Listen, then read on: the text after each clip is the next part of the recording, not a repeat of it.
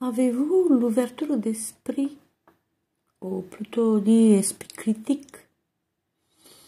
Examinez les choses sur tous les angles. Euh, et quelque chose euh, qui vous caractérise particulièrement. Vous ne direz pas des conclusions hâtives et vous êtes capable de changer d'avis à la lumière des nouvelles informations.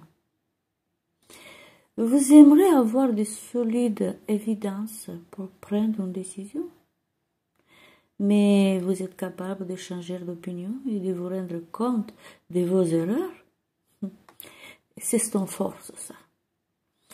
Et euh, cette force augmente tout particulièrement avec l'âge et l'éducation. Vous faites preuve d'intelligence sociale et vous êtes consciente des avis, des envies gens, de votre entourage. Et bien voilà, c'est comme ça que vous avez acquis une force. Étiez-vous au courant que ça c'est la vôtre?